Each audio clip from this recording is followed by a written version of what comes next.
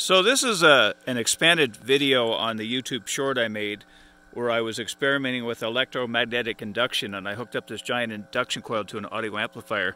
I came up here in the mountains to conduct this experiment because in the city the AC hum was so ridiculous it was interfering with my experiment. So what I did here was I hooked up this amplifier to this giant induction coil here, much like my telephone amplifier, which also has an induction coil on it here. And I just want to see how far I could pick different things up um, with this giant one. Anyway, I'm still hearing the hum even up here in the mountains, so unfortunately I can't get away from that easy, but check this out. I'm just spinning the motor on a shaft that's not even hooked to anything. I'm trying it now with the, the wire shorted.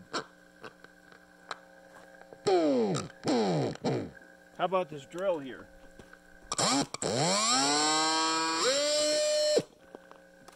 Or this tape recorder. Even when I cover the speaker on the tape recorder, it inductively picks up the, the audio. Check this out. Okay, I'm making an audio recording for about a minute here just to see how this works.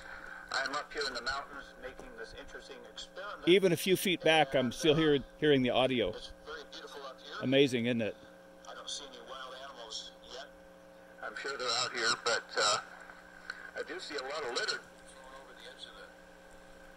How about this walkie-talkie here? Check this out. Even these little magnets I've got in my pocket here.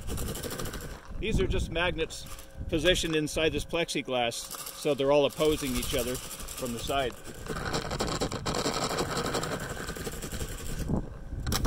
What about my big magnet here? Let's try spinning this thing.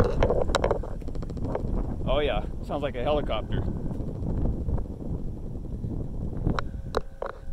So for those of you who are wondering what's the point of this experiment, I have no idea. I just love to experiment and see what's possible. You know you guys wanted to know this stuff, right? Anyway, there you have it. So anyway, I had this thought.